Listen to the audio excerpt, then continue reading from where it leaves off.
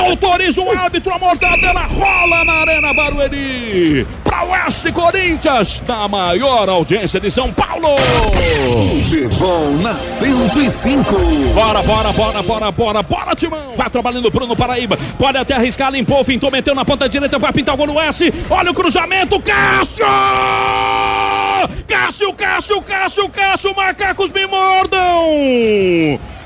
Num contragolpe gigante, Bruno Paraíba abriu lá na direita. Bruno Lopes ele bateu, foi travado pelo Danilo Avelar. A bola entraria, houve um desvio ali no Avelar. Pegou pelo rabo, saiu o Cássio, meteu pra fora, escanteio. Quase a bola tocou no corpo do Gil e enganando o Cássio, que mesmo já caindo, ergueu o braço e jogou pela linha de fundo. A primeira grande defesa do Cássio, escanteio. A bola para Gabriel, aprofundou, que bola, que bola! A bola para Fagner, foi pra linha de fundo, agora vai pintar o gol no cruzamento. A bola bateu no zagueiro, volta no Fagner, vai se perder, né? Tiro de meta. Coringão deu ar da graça até que enfim erra o fim aos 16 do primeiro tempo, 0 a 0. Atentou pela direita, mas foi o último a tocar o Fagner. Bola pela linha de fundo, apenas tiro de meta. Olha o Ederson, olha a batida, Cássio!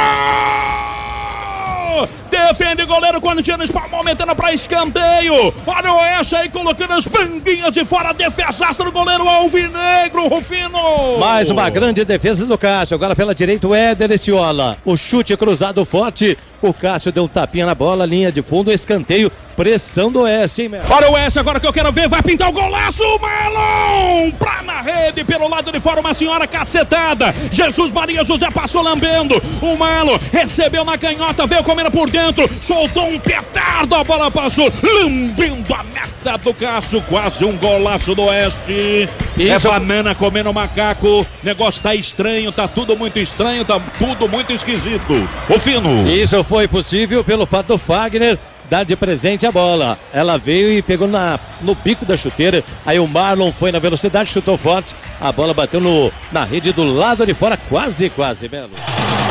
A emoção do futebol. 105 FM. Agora vai. Olha o Luan, partiu pra bola, fez o levantamento. Olha o toque. Avelar.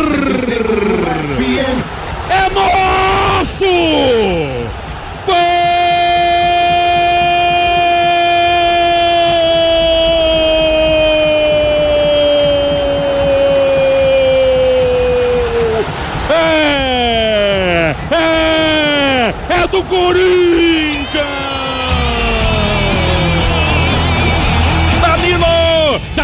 Danilo Avelar, zagueirão artilheiro, 35 é a camisa dele quando eram passados 46 e bola rolando na cobrança de falta do Luan, na lateral da grande área lá pelo setor direito, ele levantou na entrada da pequena área, Danilo Avelar subiu mais do que todo mundo, cumprimentou de cabeça e meteu no canto esquerdo da meta do goleiro Glauco, abrindo o placar para o todo poderoso Timão, Danilo Avelar, Danilo Avelar, Danilo Avelar é rede, foi pra rede, olha o sorriso Danilo que você proporciona pra galera corintiana, ainda há esperança, mais um Timão, mais um, só mais um, só mais um golzinho, Danilo Avelar e o torcedor do Corinthians. Sorri de orelha, orelha, de swap de cabeça, cumprimentou, boa Timão, boa Corinthians, é o Timão do povo, larga na frente jogando uma bolinha assim, ó, mas valeu, valeu pelo gol, Danilo Avelar, um pro Timão, zero pra equipe do Oeste, goleirão Glauco, chupa essa manga, 1 a 0 pro Timão, me conta o detalhe do gol, Coringão larga na frente, fala Rufino!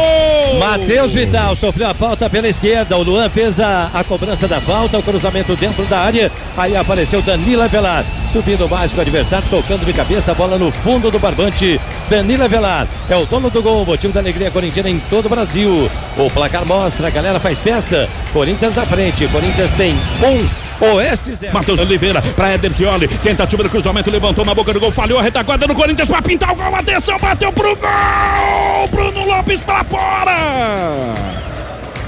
O Danilo Avelar patinou, escorregou, plantou bananeira, deixou ali o Bruno Lopes, cara crachá para empatar o jogo. Ele errou, bateu ali de bate pronto de virada, a bola passou lambendo o poste. Quase, quase o Oeste empata, beleza, Rufino. Quase, quase. Danilo Avelar se atrapalhando um pouco, escorregou no lance e na finalização o Cássio ficou apenas olhando. A bola passou à direita, foi pela linha de fundo. Bom momento do Oeste, quase, quase o gol de empate. Hein? Atenção, bola enfiada aqui pela ponta, quarta Velar. A bola voltou para Matheus Oliveira, limpou, fintou, sobrou para Mazinho, marcou, mas não levou, hein? Tava impedido, oh, todo mundo viu, hein?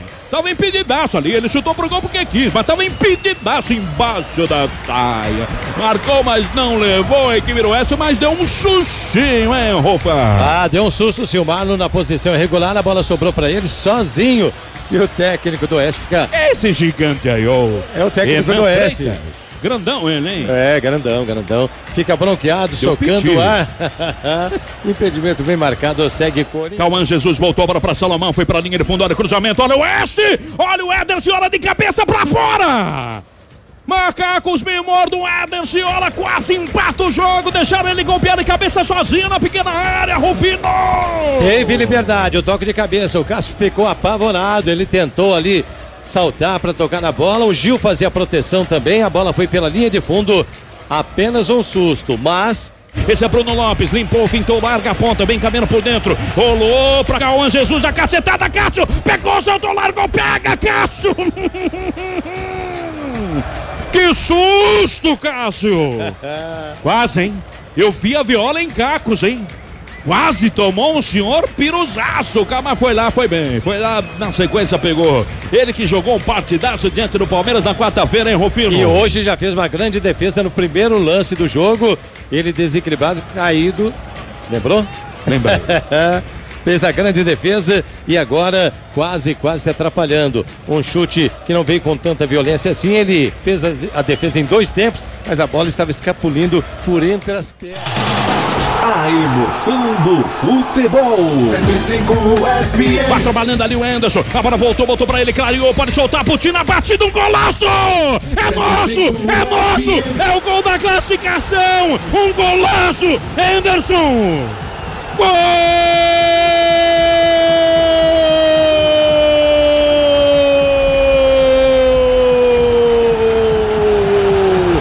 É!